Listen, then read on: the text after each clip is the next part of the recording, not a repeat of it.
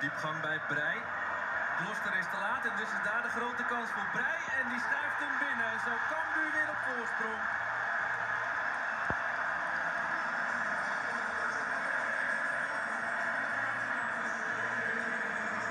Net als in de eerste helft zoekt Cambuur die diepte achter die laatste linie bij Jong PSV. En weer is het succesvol. En nu wordt het ook afgerond. Gloster is te laat. Zet de achtervolging nog wel in. Maar kan niet voorkomen dat uh, Brei de bal langs van ons